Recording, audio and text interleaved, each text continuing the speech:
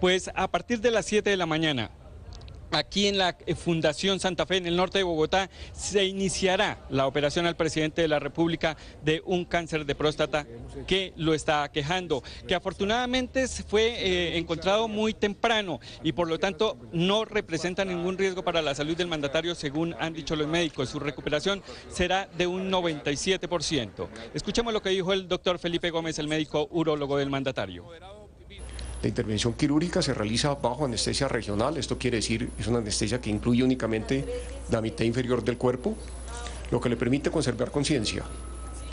Posterior a la intervención quirúrgica, el paciente será recuperado en esta misma institución y esperamos que en el transcurso de dos a tres días pueda regresar a su hogar. El, ah, día mañana, posterior a la intervención quirúrgica hacia el mediodía, les estaremos a ustedes eh, dando información adicional del curso de la intervención. Mil gracias. Muchas gracias. ¿A qué hora sería esta intervención mañana? El señor presidente ingresa a la institución el día de mañana y la intervención se va a realizar en primeras horas de la mañana hacia las 7 de la mañana.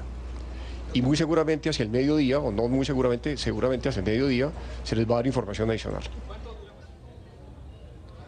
A las 7 de la mañana entonces, en punto, aquí en la Fundación Santa Fe, en el norte de Bogotá, se realizará la intervención quirúrgica al presidente de la República y hacia el mediodía se entregará el primer parte de su estado de salud y de su recuperación.